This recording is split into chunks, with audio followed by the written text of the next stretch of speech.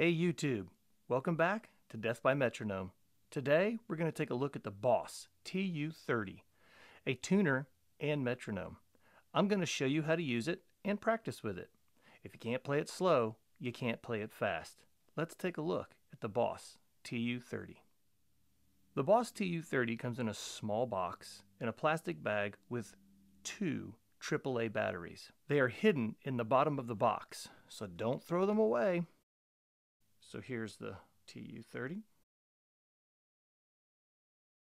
It comes with an owner's manual and a product safety booklet. This is your standard liability packet. The front of the TU30 has a power button, has a built-in speaker, a sound button, and a mic. There is a select switch, value up, value down. There's a tuner button and a metronome button. Let's power it on. Under the tuner side, the display will show the tuning arm. You have your hertz right here. Right now it's set to 440 and it's set to guitar. If you want to change any of these settings, you have to hit the select button and then use your value up or down. It's on guitar now. I can change it to bass or I can change it to chromatic tuner. When guitar is selected, it will show you the string as you are tuning. Same in the bass mode. For some recordings, I think And Justice for All is an example, uh, you can use the 440 and you can go up or down with that uh, to match different album. Select the metronome button.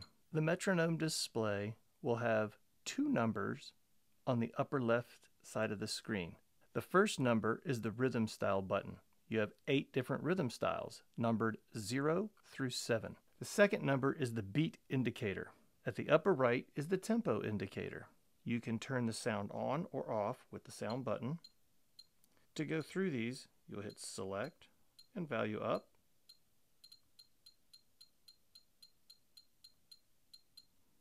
And continue hitting select.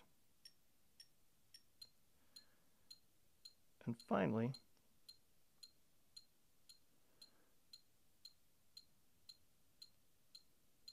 you can adjust the tempo.